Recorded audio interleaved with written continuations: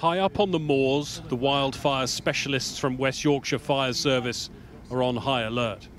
Increasingly hot, dry weather has created the perfect conditions for fires up here, and the way they deal with them has had to evolve.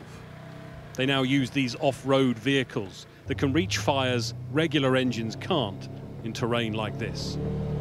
Location is massive uh, up here because you, you've no water, so we've only got a limited amount of water, so we have to have water to deal with the fire, but then we've also got to have a backup plan. And it doesn't take much to start a fire. The message to the public is just, you know, be very mindful and careful of what you're doing in this beautiful countryside. We are on top of the moor now and the wind is blustery. This grass is very, very dry. And it wasn't that long ago that a fire swept up the hillside over there and came perilously close to this transmitter, which would have wiped out communications across a huge area. It's another illustration of how these wildfires are potentially affecting people way beyond just the countryside. The fires on the moors this summer have spread to areas not usually affected, and fires like this in a cornfield, once rare, have also become more common.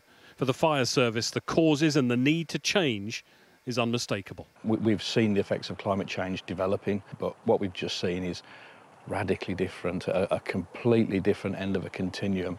And if that's a peep into the future, then I think we've got to go back and we've got to look at everything we've done to date and just reassess about whether that's what we need going forward or whether we need to do even more. And I think that applies to society as well.